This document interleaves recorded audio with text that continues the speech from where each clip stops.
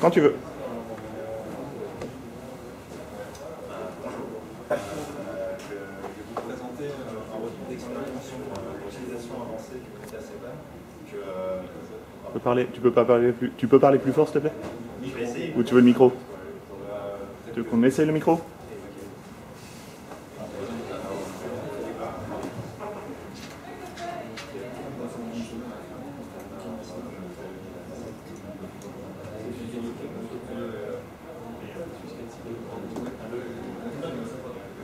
Allô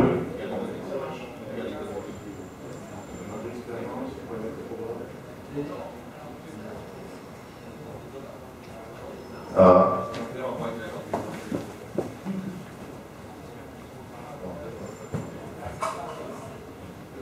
Allô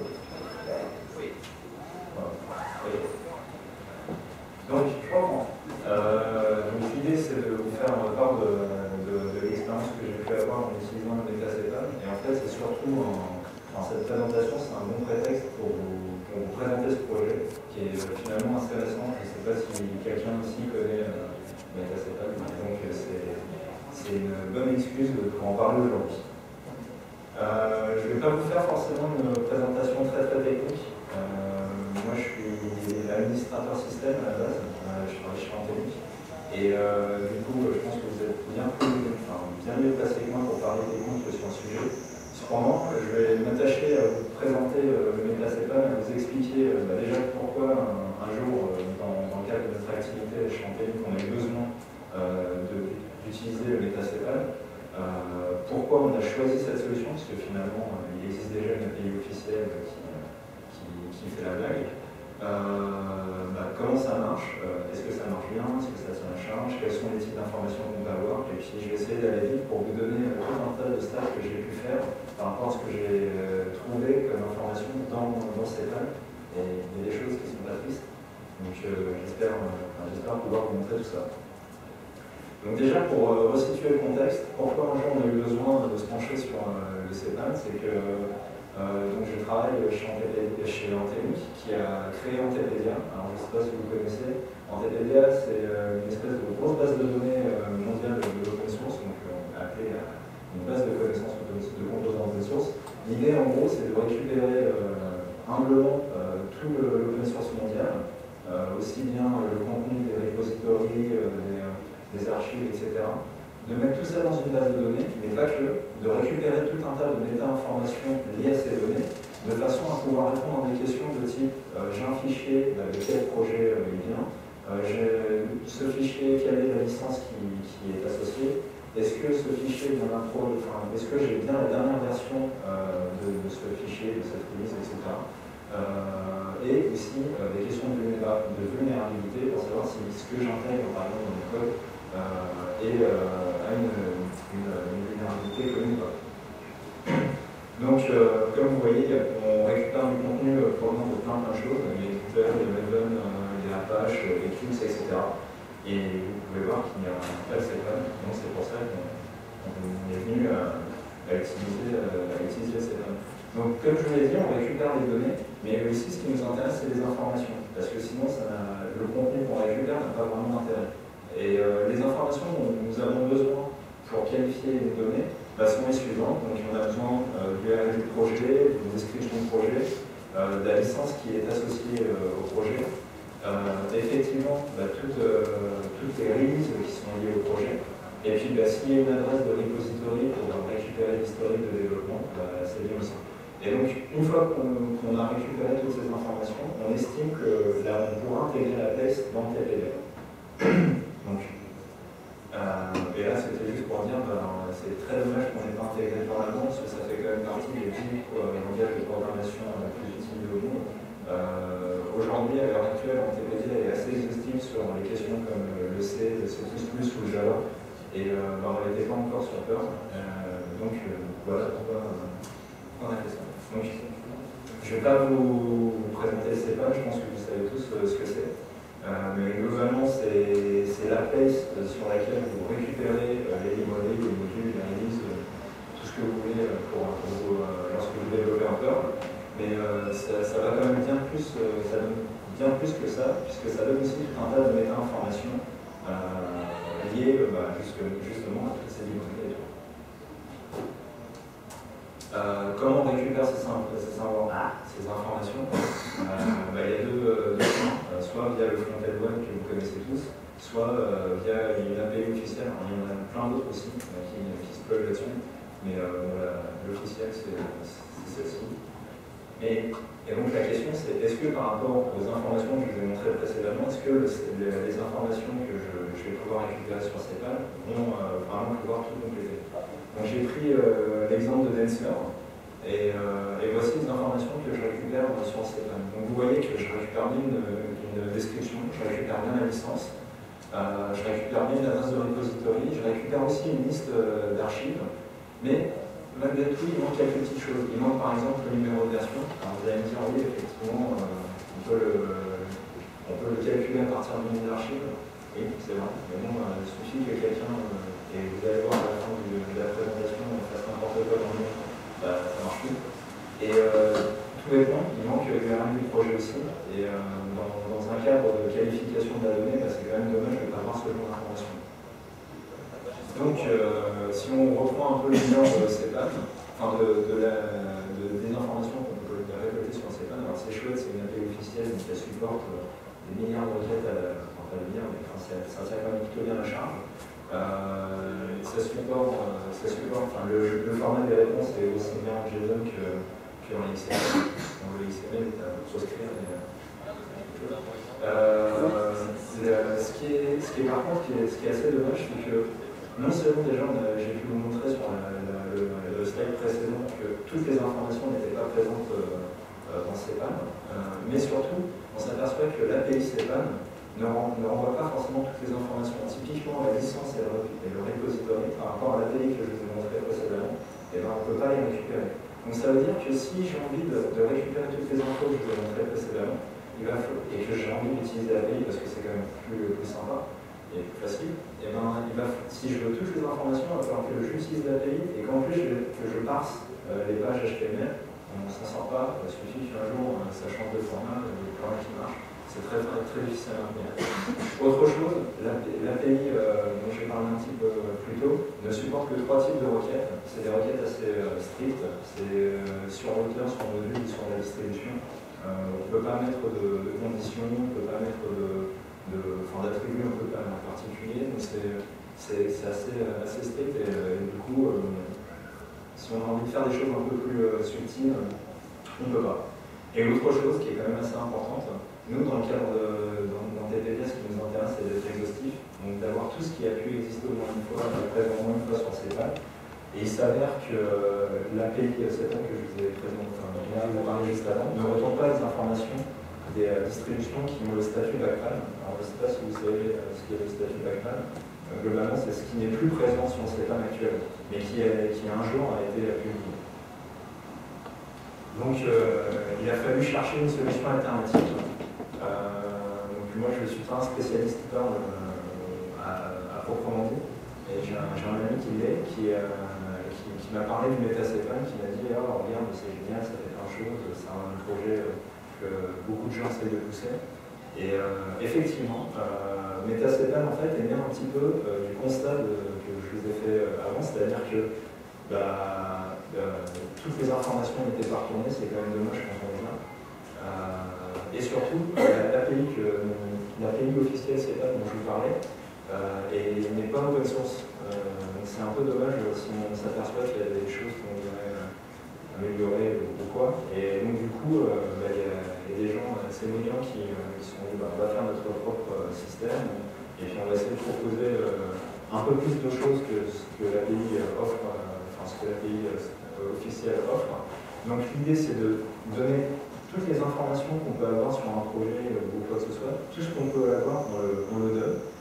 Et aussi, on va essayer de donner plus que ça, c'est-à-dire en récupérant des informations qui viennent d'autres sites. Donc typiquement, c'est GitHub. Oui? C'est qui qui maintient le CEPAD euh, MetaCEPAD Le CEPAD qui n'est pas libre Ah, euh, alors je vais mentir, je me souviens plus. Euh, mais euh, c'est... Qui a décidé que la pays ne soit pas libre Ah, ça je ne sais pas. Je pense que c'est plutôt personne n'a pris le temps de la libérer, je pense que c'est plutôt dans ce sens-là. Oui, c'est pas par. Je sais pas, par, euh, je pense, enfin, le- la base de code euh, n'inspire pas la RST, on va dire ça comme ça. Ils n'ont jamais voulu euh, libérer. C'est pas une bonne pub pour perdre, quoi. Ouais, enfin, probablement. Je suis pas allé vraiment. euh, Mais c'est pas pour des raisons J'ai pas cherché vraiment pourquoi, mais j'ai vu que, ça, que sur le sujet, il y vrai. Il a- des gens assez engagés euh, sur le sujet. et Donc, euh, donc, euh, donc voilà. Mais le, justement, l'idée c'était vraiment de, de, bah, de faire quelque chose de, de totalement libre. Et, et donc, comme, euh, comme, euh, comme le, pour avoir accès à ces informations, toujours de moyens, un front-end web et euh, aussi une API. Oups que- que je vais décrire un peu plus. Donc, comme je disais, la- l'API elle est super riche, elle offre euh, tout un tas d'informations en, plus. Elle est beaucoup plus souple, c'est-à-dire qu'on peut faire des requêtes un peu, euh, un peu à la mode SQL en disant tiens, je sais pas si j'ai envie d'avoir toutes les versions euh, de Dancer qui sont sorties en juin, je, peux le, je peux le matérialiser en requête à l'API. Ça supporte la recherche par étoile et dans le cadre de mon activité c'était super important parce que la première chose, quand on veut récupérer ces pannes, la première chose c'est de savoir qu'est-ce qu'on va récupérer. Donc si je veux tout récupérer, bah, la, recherche par est juste euh, indispensable. Euh, ça supporte le, JSON et puis chose très importante, c'est que euh, le metacépan, donc si vous modifiez par exemple, c'est le auteur.json, je crois que vous le mettez dans votre euh, directory. Ben, le metacépan, il, il crawl tout ça toutes les heures pour mettre à jour ses propres données, ce qui est de la sa propre base. Donc en fait, il y a un, vrai, euh, un, vrai euh, sujet entre ce qu'il faut choisir la chose officielle, enfin la pays officielle ou pas. Donc nous, on a fait le choix. On a choisi metacépan. Donc euh, là, je vais juste montrer un exemple de, ce que ça a retourné et vous voyez que quand je disais que ça allait plus loin, typiquement, on a par exemple l'URL de, du bug tracker de Densa. Donc encore une fois, il- n'y a pas vraiment de normes sur le, format, le, format de la déclaration, mais au moins l'information est là et, euh, elle, est, facilement passable puisque c'est du JSON. Alors après, euh, nous, quand on a trouvé ça, on était super contents, on s'est dit ouais c'est chouette, on va y aller un petit peu comme des euh, tout. Bon, on a quand même prévenu euh, les, les gens qui maintiennent tout ça, on a dit voilà, on va faire peut-être pas mal de requêtes. Et, euh, c'est là que, le travail avec la communauté était important parce que, était important, pardon, parce que, parce que eux-mêmes, ils n'avaient pas vraiment d'idée de comment ça la charge euh, et tout. Donc, euh, on, a aidé à faire un, espèce de bench de leur solution. Globalement, euh, le gros problème, c'est sur la fameuse recherche par étoile, euh, parce que ça va retourner des millions et des millions de résultats. Et euh, donc, si vous faites ça un petit peu de façon courante, vous explosez tout. Moi, je. Je me suis fait un peu sur le. Euh, et, ce qui est intéressant aussi, c'est qu'on peut super tuner la- les, les réponses que la l'API va nous renvoyer en précisant bah, déjà la taille de la réponse, mais aussi les champs qu'on souhaite avoir, toujours dans un souci de faciliter euh, le travail dessus.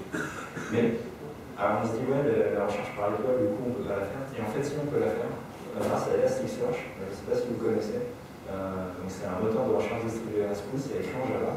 Et globalement, enfin, je ne vais pas rentrer dans les détails, mais ce qui est super intéressant, c'est que par exemple, pour ma recherche par étoile, je vais préciser, je vais faire une recherche de type Elasticsearch. Et, euh, et en fait, la, réponse qui va m'être envoyée, ça va être une réponse paginée. Et donc du coup, je vais, je vais, passer, page, enfin, je vais passer page à page, et euh, sans, mettre à terre la, sans mettre à terre le- bah, machine, je vais pouvoir récupérer tout mon contenu. Donc nous, euh, pour récupérer tout le contenu euh, de Metacepan, en fait, toutes les informations, il a fallu créer une application full euh, Elasticsearch compliant. Ce qui n'est pas compliqué, parce que comme je vous l'ai dit, il y a juste un, un petit paramètre à rajouter. Euh, juste un mot sur le backpan. Le backpan, euh, alors c'est un petit, pas officieux, mais euh, disons que pour y avoir accès, il faut, parler avec pas mal de gens. Euh, et euh, moi, je remercie euh, la communauté temps qui a été super active, j'ai eu un accès super vite. Et, euh, du coup, comme je vous disais, euh, on cherche à avoir une exhaustivité de couvrir l'ensemble de l'historique euh, du CEPAL. Donc l'accès à ces données a été, euh, a été super important. Donc maintenant, en fait, on a tout pour mettre euh, en TPDIA parce qu'on est capable de découvrir tous les projets avec la recherche par étoile euh, via l'API la MetaCépal. Ben, après, une fois que j'ai la liste de, tout ce qui existe, ben, pour, chaque chose qui existe, ben, je vais récupérer les informations associées, donc toujours via l'API MetaCépal.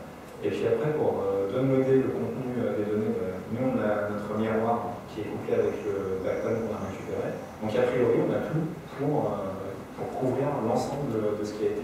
un jour son RCPAN.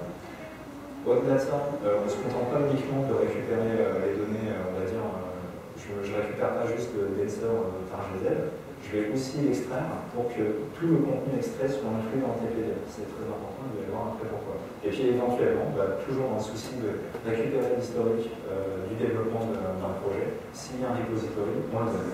Alors actuellement, en TPD, pour trouver que les que Git, SVN ou. Quand tu parles de dump SVN, par exemple, c'est euh, le résultat d'un checkout ou c'est un event dump. Ah, vous avez reconstitué le checkout Exactement.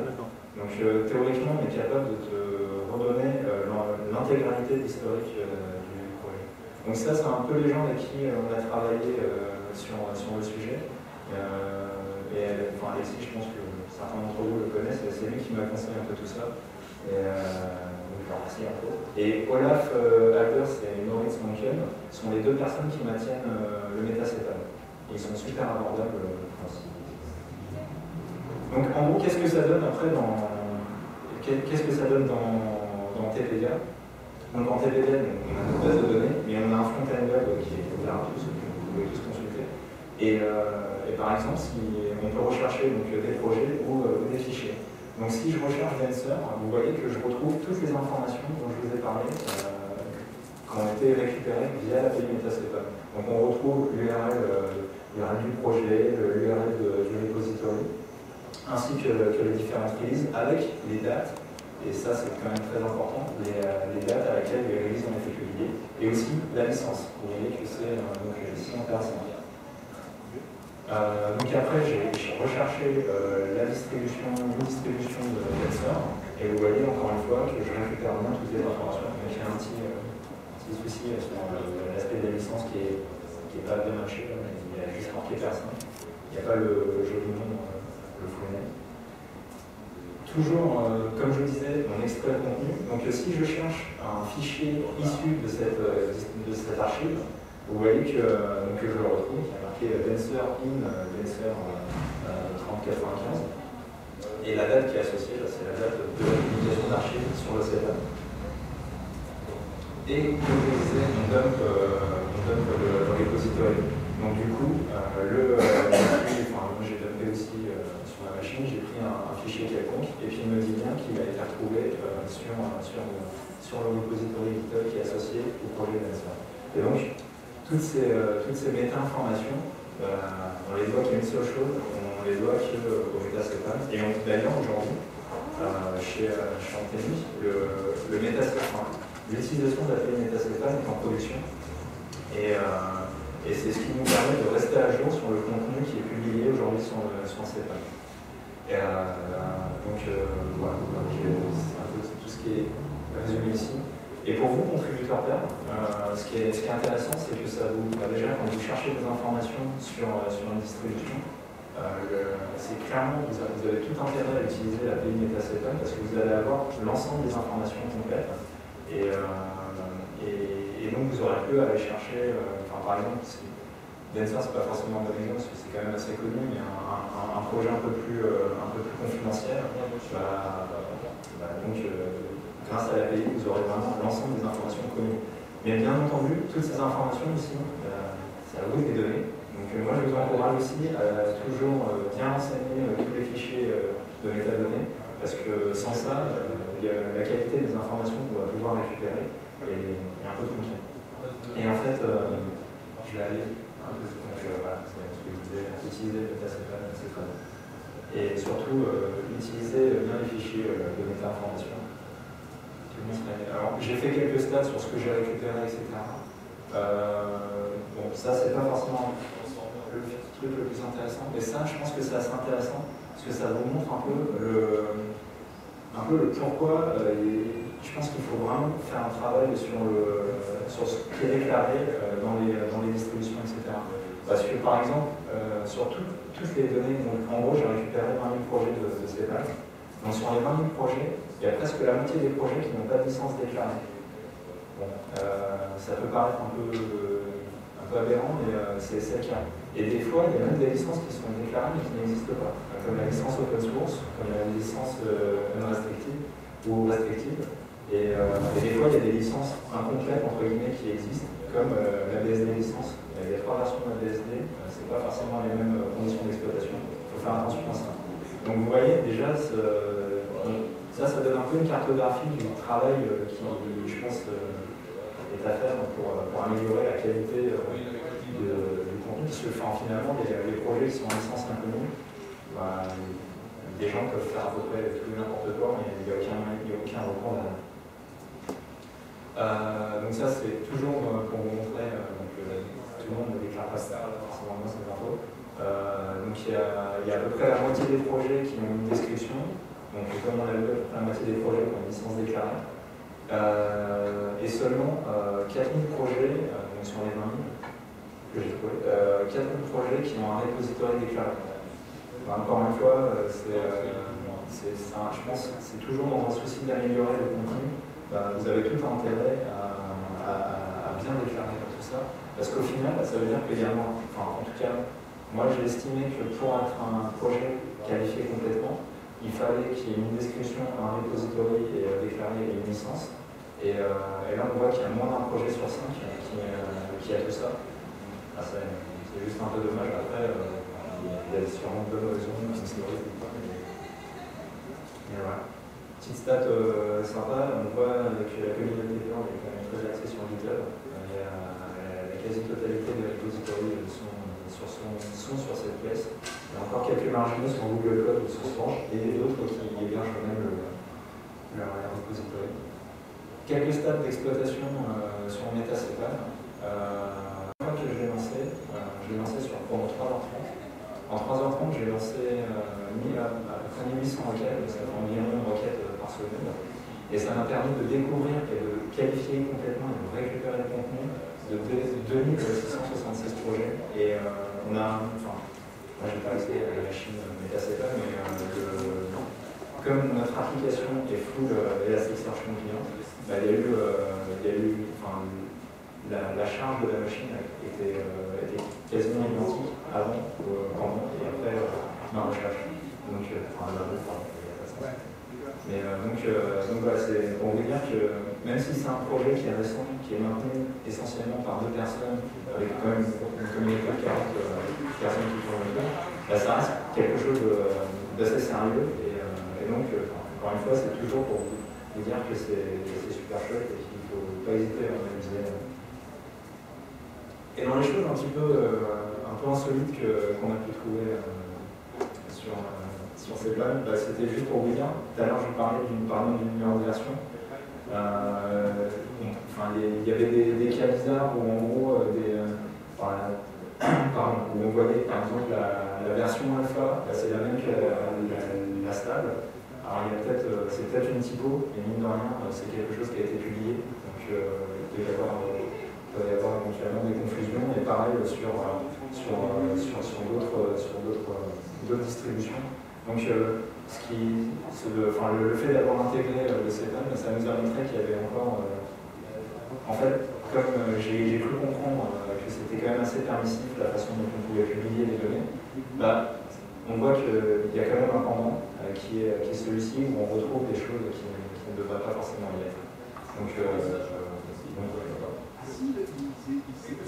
si vous avez des questions, je suis dispo. Et, et en fait, euh, la seule chose que, je pense qu'il est important à retenir, c'est que des, donner des informations, enfin, bien remplir les métadonnées, c'est quand même important pour l'exploitation après de, de, des distributions. Et, euh, et surtout, bah, faire attention quand des choses sont publiées sur le, le CEPA, parce qu'on ne rien, il y a un historique derrière, et ça peut, euh, ça peut gêner, euh, gêner les gens à l'avenir. Voilà.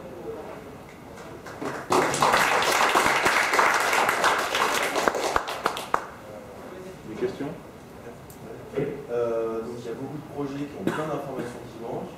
Ouais. Euh, Est-ce qu'il n'y aurait pas dans les tuyaux une campagne de, de remplissez votre profil, remplissez votre dernier Alors justement, le, enfin, moi je suis un peu là pour ça, pour sensibiliser les gens déjà à ce. À ce les sensibiliser, oui, là tu sensibilises, mais une véritable campagne massive. Alors à ma, connaissance, à ma connaissance, non. Mais par exemple, le Metacepan, euh, vous offre, euh, quand vous en tant que, contributeur vous pouvez vous loguer euh, sur un MetaCPAN. Et il fournit tout un tas d'outils pour vous faciliter euh, la création des fichiers JSON, etc., pour, euh, pour donner ces méta-informations. Donc, en fait, dans un monde idéal, euh, on peut utiliser uniquement le MetaCPAN pour nous faciliter et puis avoir d'excuses pour ne pas bien utiliser, en fait, enfin, pour ne pas bien enseigner finalement ces informations. Mais c'est vrai que le, fait que ça soit déclaratif et le fait que le CPAN soit relativement permissible dans la publication, bah, on a forcément des, Alors après, c'est un avantage aussi, ça permet à tout le monde de contribuer facilement, de ne pas avoir des, process qui sont super Mais euh, on voit l'autre pendant. Oui. Moi, par, rapport au fichier de métadonnées, je, je allé faire un tour sur MetaCPAN, j'ai vu qu'on pouvait renseigner son autor.json. Il, y a, il y a des aides sur le site, on peut le faire, on peut générer un.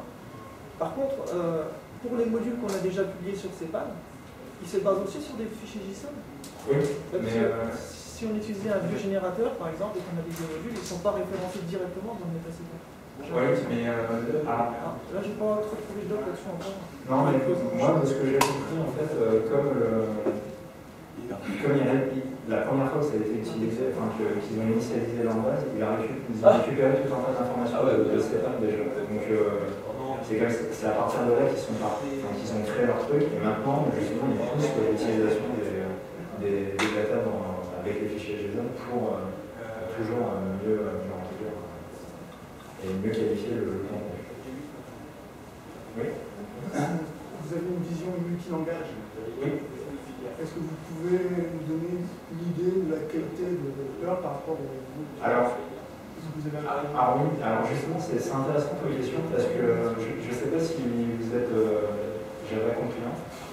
Mais en gros, dans le monde Java, l'équivalent du CEPAN, ça s'appelle Maven.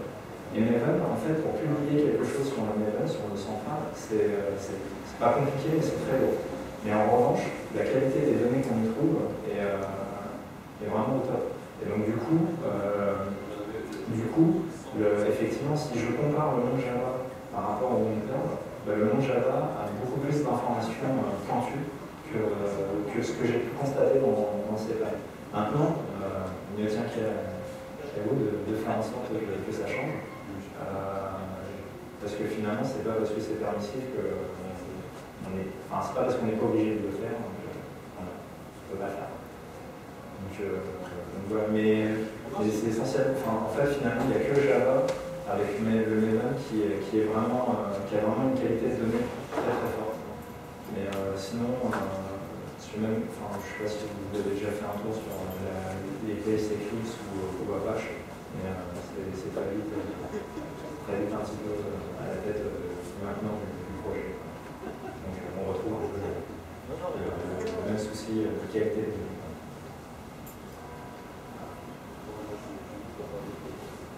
Merci. Merci, au revoir.